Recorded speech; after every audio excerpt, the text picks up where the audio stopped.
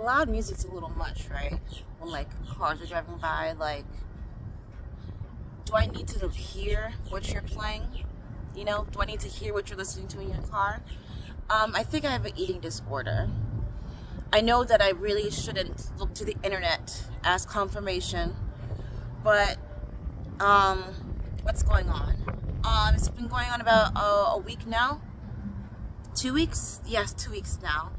Um, I don't have much of an appetite, which is new-ish. Um, I always eat like a bird, regardless. I'll get like a bunch of food and I'll take like a couple of bites and then like I'll maybe like eat the rest of it at midnight. But um having a lot of stomach pains. Um if I do eat, I do end up vomiting. Um or going number 2. Sorry, that's TMI. Um the smell of food uh, makes me nauseous. Um I can't even drink like I used to, which if you know me, I'm, I'm a very, very heavy drinker. But like, just a little sting on my stomach makes me feel full and, and then I throw up. Um, tired, cold a lot. Um, so yeah, I'm sleeping. I'm definitely sleeping. Um, still going to the gym, but like I don't have the the energy, which obviously like it's because I have no energy because I'm not consuming food. Um, this isn't funny. It's actually quite scary. Um, I am, like I said, I am making myself eat, but it hurts. Um,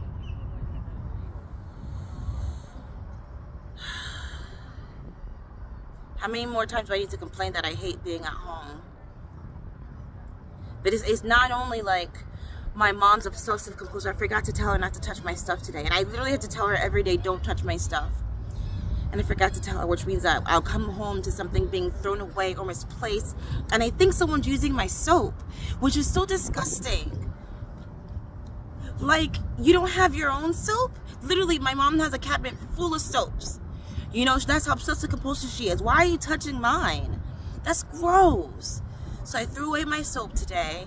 Um, who knows what else they're fucking using or they're fucking touching. Um, now on top of my sister bullying me my brother's talking shit to me as well which i'm like okay you're setting the great example for your fucking kids. God.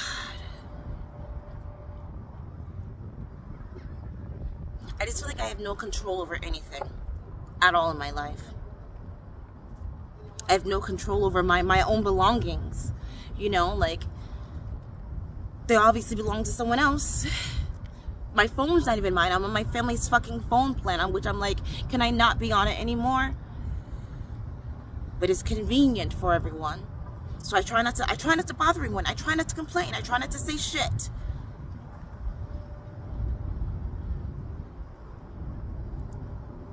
Have no control of my fucking work environment. It's like every job sucks. They all they're all shitty, so what's the point in working? What's the point of doing an honest job? I might as well lie like everyone else then.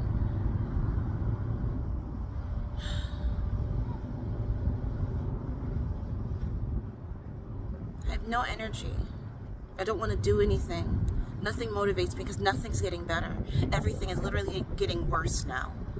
I literally can't even eat now, which is okay, I guess, because I don't have any money anyway, so saving money on food and alcohol because I can't keep anything down. I'm also not making any money anyway. So what's the point?